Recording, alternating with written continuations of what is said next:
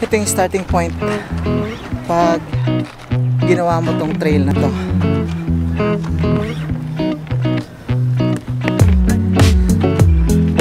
So naka 1,000 meters na kami. I think it's not even half. Good morning guys. We are here again in uh, in Corfacan and um, we will try the uh, mountain trail. So you have to go until here.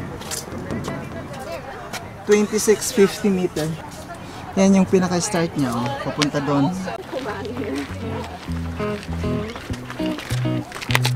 This is the starting point ng trail. So let's go. Let's try this. 2,650 meters up to the mountain. Let's go.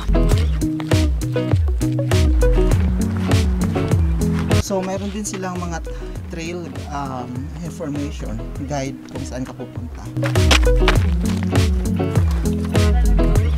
Nasa 69 meters elevation na dito sa trail and yung background namin makikita nyo yan yung Corfacan Fort area so hindi pa to kalahati. Dun sa akitan namin. Let's go.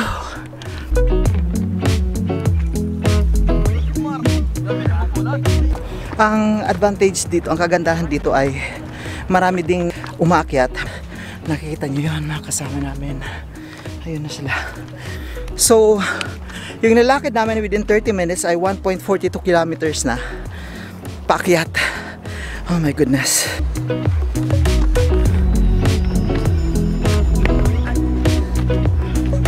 So naka 1,000 meters na kami. I think it's not even half. Thank you. Hindi, hindi pa siya kalahati kasi it's 2,650 meters. So naka 1,000 meters na kami.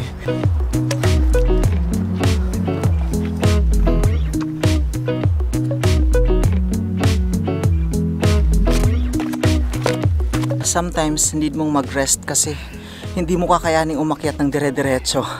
Ito na ginagawa namin ni Ging. Anong pupo kaya yan? Pupo ng ano? Pusa. Pusa.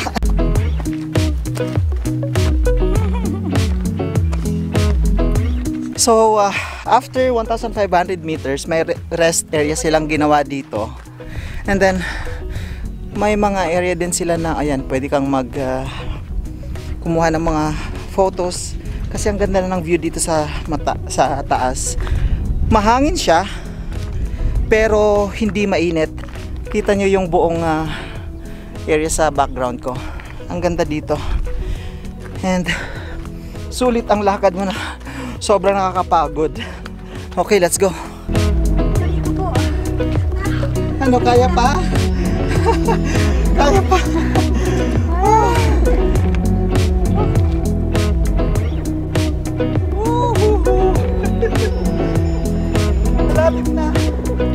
Nakikita ko na yung tuktok. Malapit na kami. Ayan na siya.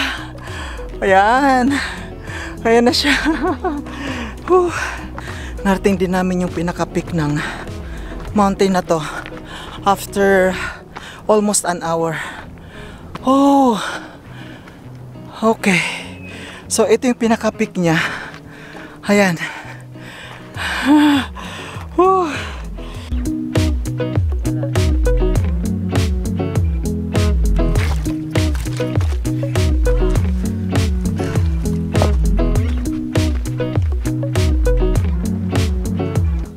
And then actually mayroon pang trail. Papunta pa doon sa pinaka kabilang ah, mountain. Pero hindi na natin itatry yun kasi sobrang layo na and nakakapagod.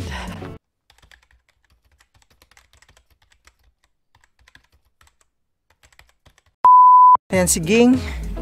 Nagpapapicture para dyan sa pinaka-peak ng area. And then let's go pa-picture din tayo Uy, mahirap dyan. O, dito wala dyan.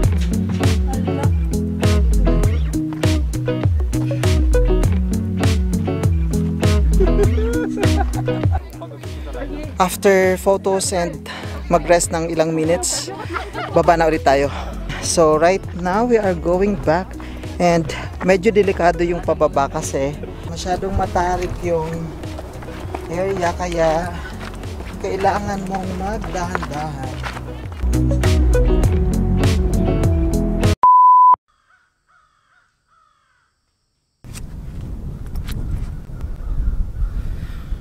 Ah, minsan kailangan mong kailangan mo ng ganitong view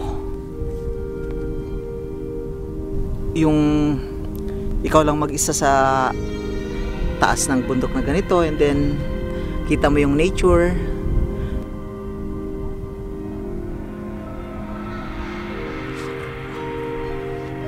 it's really a good thing na ginagawa to from time to time. For example like weekend kasi uh, marirewind ka or ma-reboot ka. Nakakapagbigay siya ng peace of mind. And nakakawala ng anxiety or nare-relax yung utak mo. Kasi ito yung makikita mo